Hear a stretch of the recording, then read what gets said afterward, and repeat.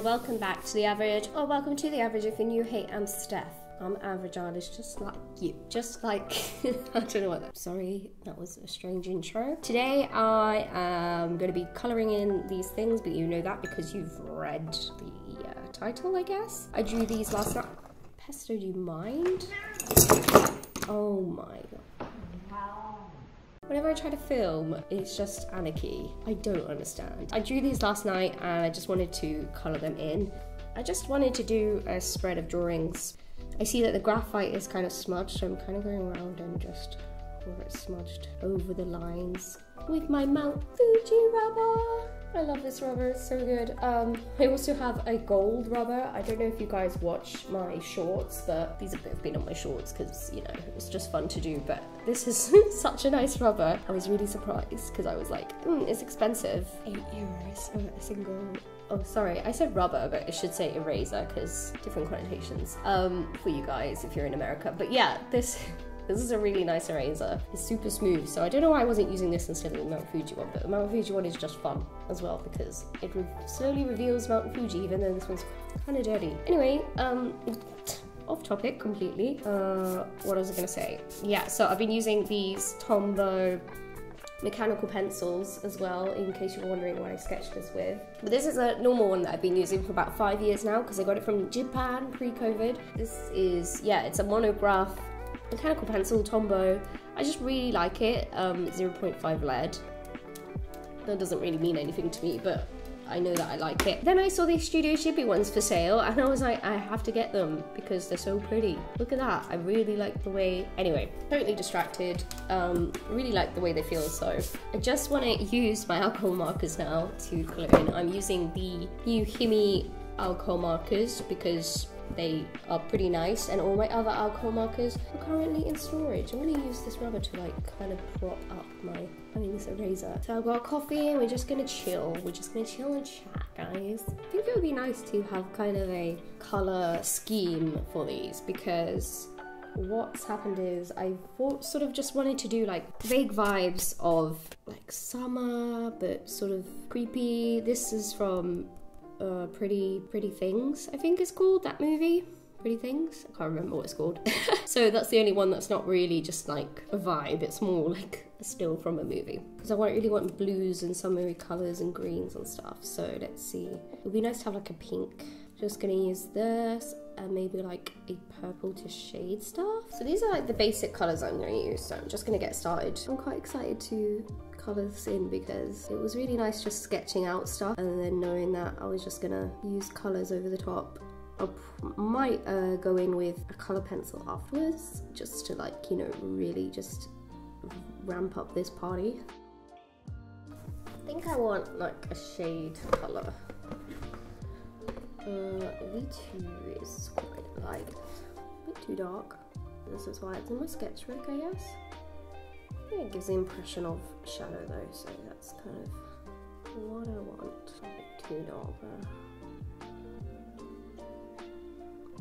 Kind of works, but looks a bit weird, so I'm going to use the pencils. Hmm, let's see.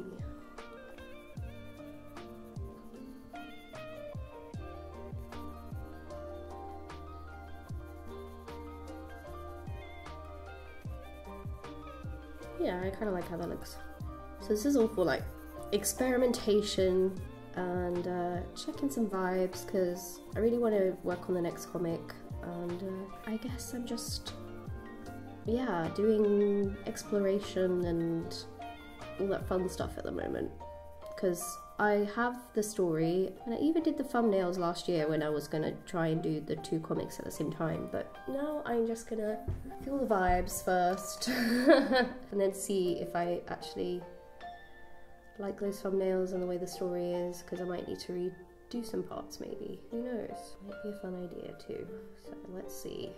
So I guess you could take this as sort of a mood board for the next comic and I guess if you're new here, um, I basically do horror comics. I've written and published three of them, short indie horror comics, I guess. Four of them actually. And yeah, it's been super fun, super love it.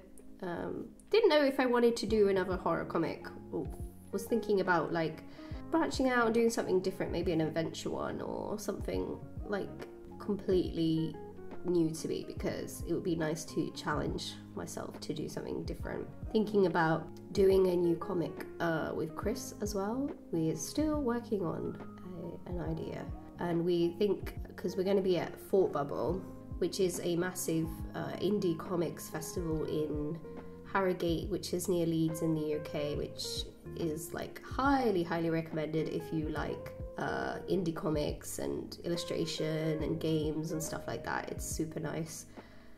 Really enjoy it. It's like just a really great place for, to get inspiration and meet people and sell comic. It was really fun last year, so we, we we're gonna go again. Luckily, we got in, and so I'm trying to think of like I want to get new stuff out by the time you know I go there. So you just start thinking new comics. And yeah, so that's generally the idea. Of course, this is early stages. I say early stages, I've done a lot of like research and early stage stuff last year because obviously I wanted to publish it last year, but I instead just did the one comic and so that one's still kind of waiting in the wings, so to speak, to be made. And I think I definitely don't want to like drop it because I did so much work on it and the whole script is there. But you know when you're just like, oh, it's, it's a difficult one. I feel like it's just more challenging maybe than the other ones I've done. But I'm not sure because it is a, a haunted water park is basically the premise, which is super fun. Like, I really love the idea of that.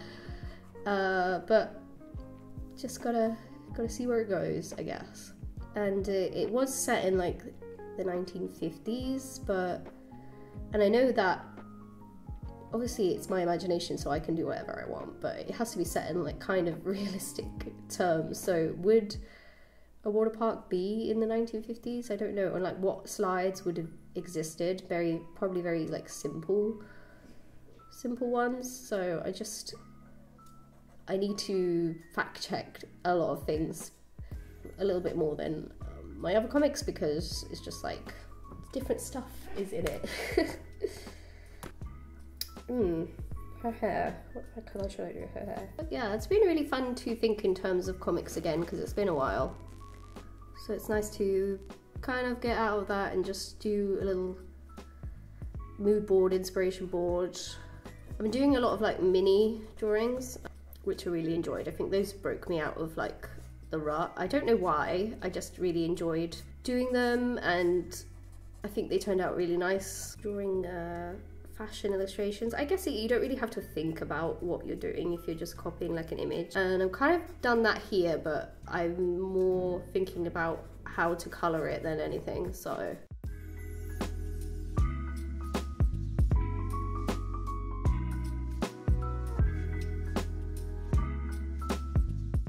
really liking the way that these alcohol markers look over the top of pencils. I don't know why I've never really tried this before. I'm enjoying it. What do you guys think? Also, sometimes the detail needs a little bit of work, so I go in with colored pencils afterwards, and I think, yeah, I think it just looks cool. It's very nice, vibey, mood boardy aesthetic, I guess, what we got going on. The graphite of the pencil smudges a bit, and I think that just can give like a nice effect if you like use it for your advantage. Yeah, so I'm just coloring this in. I'm really finished, I guess. Um, I really enjoy when a spread just looks nice like this. And there's no need for it really because this is a sketchbook, so you don't really need to be like, oh, I need everything to look a certain way and be beautiful and match each other, but it is nice, you know, every now and again to think of these things. Sketchbook, if you look at my sketchbook, you'll see pages that are just rubbish, like one drawing, and then pages that are just like, well, all the mini drawings on one page and just like a lot of effort. So it's quite funny to me, um, the difference. See when flipping through that's the whole point of a sketchbook. It's supposed to be practice, and then you can also do nicer pages if you so wish. That's art, guys. And thank you for coming to my channel and letting me explain what art is. don't like this drawing of Emma Stone that I'd done. I did one on a previous page, like as practice, and I was like, oh, I really like drawing this image of her in this film, Pretty Things. Can't remember what it's called. And um, yeah, I don't like it very much now. Which is quite funny because the other one I really did like, and so, well, whatever. There's, them's the breaks. I'm also just making up the colours because I don't want to look up what they are in the movie because then they might not match my page. And I want to. That's very pink. Kind of, kind of fits though. Then we've got one left to do, which is this scene of kind of the ocean. What's really nice is that you kind of don't have to do that much effort with the colouring because if the drawing is kind of nice, it just enhances the drawing a little bit rather than needing to be like perfect. Kind of enjoying that uh, just vibe of just doing like rough colours. It's quite fun. Because I guess all the hard work is already done by the drawing underneath. So now I guess it would be like a really good way to check if colours are working in your comic or something. Just quickly layer down some imagery and then draw on top with the alcohol markers. This screen is not nice, but we can, maybe if I do like a blue on the roof, or is that just like making it worse? I'm like, oh, you don't have to work too hard, um, doing the, the, the colours underneath, and then it just doesn't work out on this one. I do like how it kind of smudges as well, the alcohol marker. It just, I don't know why, it just kind of looks, it just fits something